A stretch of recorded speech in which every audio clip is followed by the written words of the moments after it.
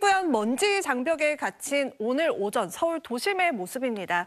오전에 국에 먼지가 한 차례 유입이 되면서 저 멀리 있는 건물의 형체가 흐릿하게 보이는데요. 다행히 내일은 먼지의 추가 유입 소식은 없습니다만 먼지가 계속 일부 잔류하면서 서울 등 서쪽 지역을 중심으로 대기질이 탁할 전망입니다. 한편 강원 영동을 비롯한 동해안은 내일 아침까지 많은 눈이 더 이어지겠습니다. 최대 10cm 이상의 큰 눈이 더 내릴 것으로 보여서 시설물 관리와 교통 안전에 각별히 주의하셔야겠습니다. 내일 수도권을 포함한 전국 곳곳에도 아침까지 눈이 날리는 곳이 있겠고요. 기온은 오늘과 비슷하거나 조금 낮겠습니다.